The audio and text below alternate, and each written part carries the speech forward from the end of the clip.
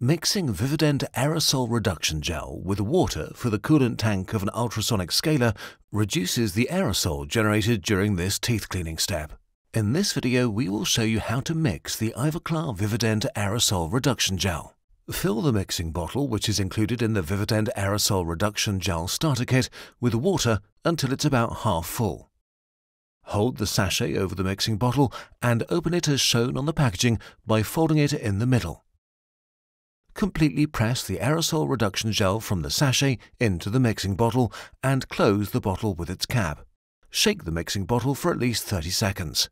Now, fill the mixing bottle completely with water up to the top. Allow the mixing bottle to rest for at least 10 minutes.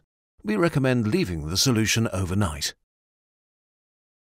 After the resting time, shake the mixed solution for another 5 seconds and pour the solution into the coolant tank of the tabletop ultrasonic scaler.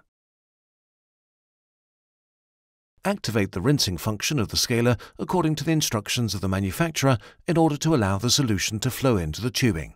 Carry out the professional tooth cleaning with the ultrasonic scaler as usual. VivaDent aerosol reduction gel reduces the aerosol formation produced by ultrasonic scalers by up to 99%.